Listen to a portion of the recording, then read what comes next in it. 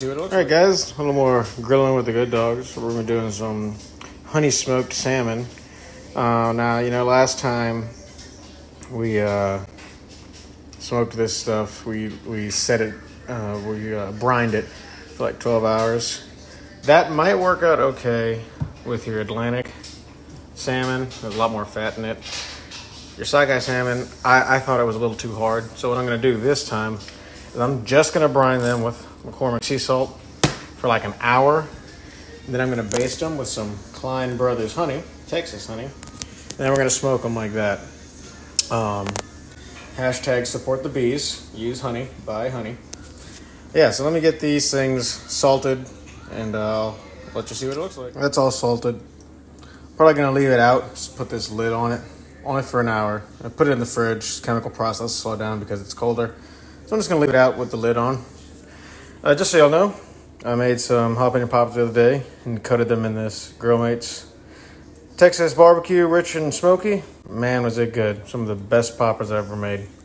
So just remember, Cormac's Grill Mates. This is the Texas barbecue, rich and smoking seasoning. Real good. Now tomorrow or the next day, we're gonna start on the brisket. Um, so get excited for that. Check back with this in an hour. All right, guys, there's the two sockeye.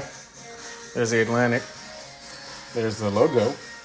So we got the honey, got it in a pot, a little bit of water in it, over a flame.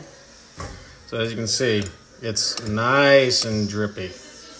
Okay, that way I can hit it with this real good. So I'm gonna baste these up. You probably won't be able to see much of a difference. So let me try and make not too much of a mess. You can see it's getting on there, kind of yellow, good, good looking. Hashtag support the bees, guys. Always got to support those bees.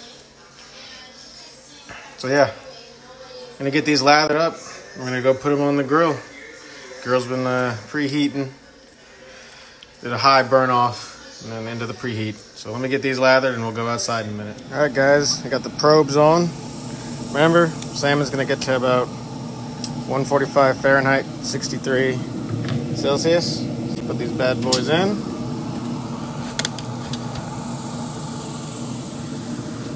Looking good. Looking good.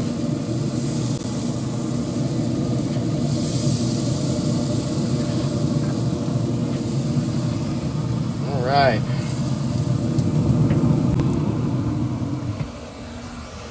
Grilling with the good dogs.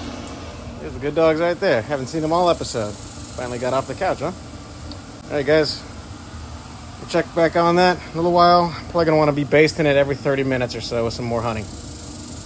Grilling with the good dogs. We're cruising right along with this stuff, guys. Gonna have to put a little bit more on it. That honey's gonna just make that heat shield disgusting as heck.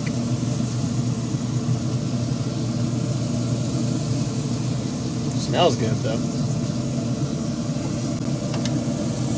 What's our temperatures? Let's see here. About 123. That's Fahrenheit. That's on the big guy over here. So the other one. 87,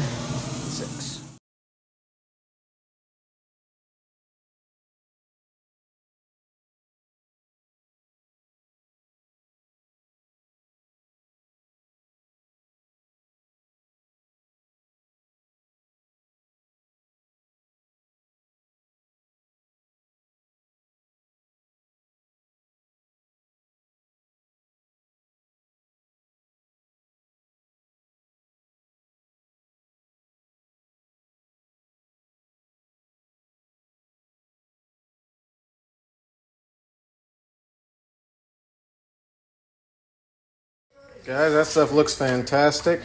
There's the Atlantic. There's the sockeye. It's just, you see it's nice and sticky. Yeah, love that. Love that. Can't wait to chat out on that.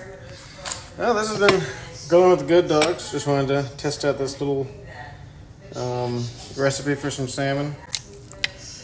Back to the sockeye, since they have it in the stores right now. Taste a little bit of it. Mmm. Very unique. Very good taste. and it's not as tough as it was last time. So that's just, that's just optimum. That's perfect. With good dogs, guys. Get ready for some brisket coming up soon.